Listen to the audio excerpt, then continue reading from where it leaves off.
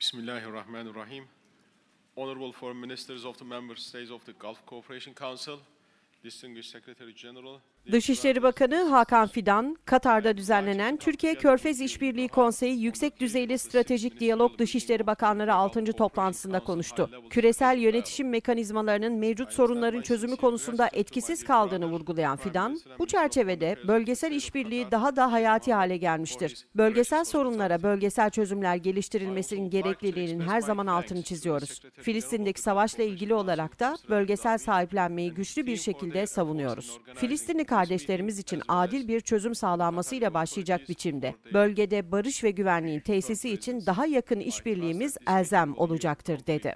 İsrail'in Gazze'de barbarca suçlar işlerken bazı ülkelerin sessiz kaldığını vurgulayan Fidan, buna bir son verilmesi lazım. Gazze'de katliam devam ederken Kudüs, Mescid-i Aksa ve Batı Şeria'daki durumu da unutmuyoruz. Filistinli mahkumların maruz kaldığı insanlık dışı koşullar ve muamelelerde göz ardı edilemez. Hepimizi İsrail ve müttefikleri üzerinde baskı kurmak için elimizdeki tüm imkanları kullanmaya çağırıyorum.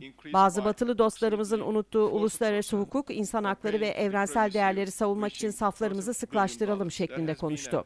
Katar'ın kalıcı ateşkes sağlanması yönündeki çabalarını takdirle karşıladıklarını kaydeden Fidan, ayrıca Mısır'ın insani yardımın girişi konusunda kilit rolünü de memnuniyetle karşılıyoruz. İslam İşbirliği Teşkilatı Arap Ligi temas grubu olarak Filistin'i tanıyan ve iki devletli çözümü destekleyen ülkelerin sayısını artırmayı başardık. Ateşkese yönelik haklı çağrılarımızı İsrail üzerindeki baskıyı artıracak güçlü somut adımlarla desteklemeliyiz ifadelerini kullandı. Türkiye olarak Güney Afrika'nın İsrail'e karşı Uluslararası Adalet Divanı'nda açtığı davaya müdahil olduklarını söyleyen Fidan, İsrail'le tüm ticareti askıya aldık. Filistin'e destek amacıyla farklı uluslararası platformları devreye soktuk ve farklı bölgelerden ülkelerin sesi olduk. Gazze'nin yeniden inşasına katkıda bulunmaya hazırız. Ancak Gazze'yi yıkanlar ve yıkıma yardımcı olanlar da bu zararı tazmin etmelidir. Filistin'deki işgale karşı direniş artık İsrail ile Filistin arasındaki bir çatışma olmaktan çıkmış, tüm dünyada zalimlerle mazlumlar arasında bir mücadele haline gelmiştir. Filistin devletinin daha fazla ülke tarafından tanınması ve Birleşmiş Milletler'e tam üye olması uluslararası hukukun, adaletin ve vicdanın gereğidir ifadelerini kullandı.